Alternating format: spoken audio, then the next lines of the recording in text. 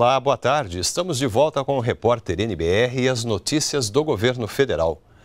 As negociações para o fim da greve dos caminhoneiros foram tema de uma reunião entre o presidente Michel Temer, na manhã de hoje, com ministros, o presidente da Petrobras, Pedro Parente, e o secretário da Receita Federal, Jorge Rachid. Em discussão, propostas para conter o aumento do preço do diesel. Agora à tarde, representantes do governo e da categoria continuam reunidos no Palácio do Planalto para tratar do assunto. Nesta quarta-feira, a Câmara aprovou o projeto da reoneração da folha de pagamentos das empresas de 28 setores da economia. A decisão atende ao pedido do governo para reequilibrar as contas públicas com a eliminação do tributo da CID sobre o diesel. Eh, na proposta aprovada pelos deputados, foi, foi incluída também a eliminação da cobrança do PIS/COFINS sobre o diesel até o fim de 2018, o que ainda vai ser analisado pelo governo. A proposta ainda precisa passar pelo Senado antes de seguir para a sanção presidencial. O ministro da Secretaria de Governo, Carlos Marum, comentou as negociações.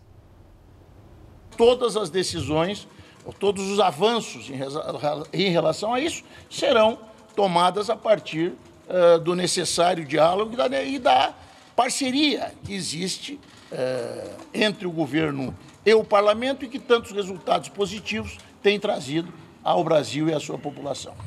E ontem à noite, a Petrobras anunciou uma redução de 10% no preço do diesel nas refinarias. A medida vai valer pelos próximos 15 dias. De acordo com o presidente da empresa, Pedro Parente, essa é uma medida de caráter excepcional para facilitar as negociações entre o governo e representantes dos caminhoneiros e não significa uma mudança na política de preços da Petrobras.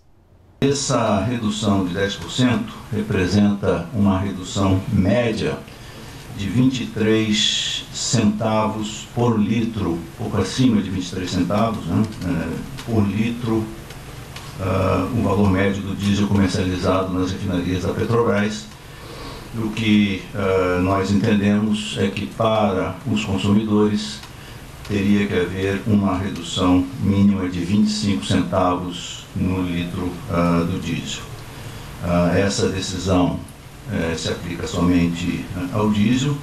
E, e como informei, tem uh, o objetivo que, de permitir que o governo e os representantes uh, dos movimentos tenham tempo para negociar um acordo definitivo neste, neste quadro mais construtivo, portanto, contribuindo para evitar impactos negativos tanto para a população quanto para a própria, as, as, as operações da, da nossa própria empresa.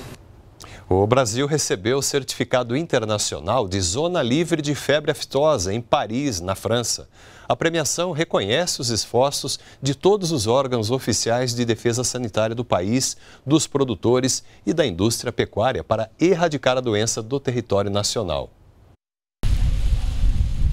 Os trabalhos começam cedo na propriedade do seu Cardoso, na região de Sobradinho, a cerca de 40 quilômetros do centro de Brasília. Nesta época, a plantação de milho é triturada para a produção de silagem.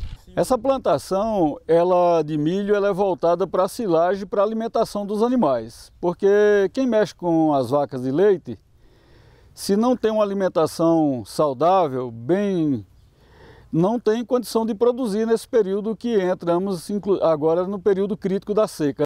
O agricultor tem cerca de 60 cabeças de gado que produzem uma média de 300 litros de leite por dia. E se tem uma coisa que o seu Cardoso não abre mão, é de vacinar o rebanho contra a febre aftosa.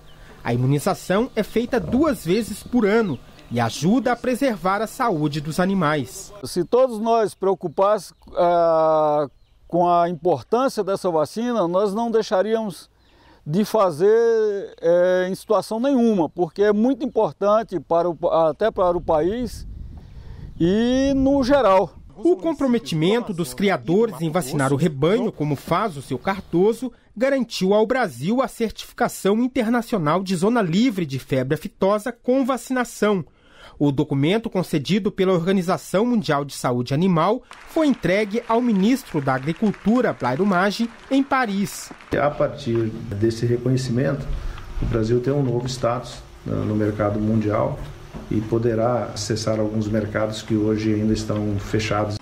O próximo passo agora é a certificação internacional de zona livre de febre aftosa sem vacinação. Para isso, o país vai suspender a imunização de forma gradual.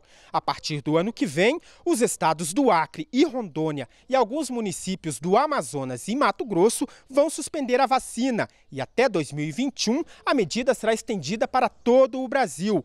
Hoje, apenas o estado de Santa Catarina é considerado área livre de febre aftosa sem vacinação. Esse reconhecimento para todo o Brasil só pode ser feito depois de dois anos que a vacinação for suspensa, o que deve ocorrer só em maio de 2023. O Brasil possui hoje o maior rebanho comercial do mundo, somando quase 219 milhões de cabeças de bovinos e búfalos. É também o maior exportador de carne, com vendas para mais de 140 países e tem potencial para crescer mais.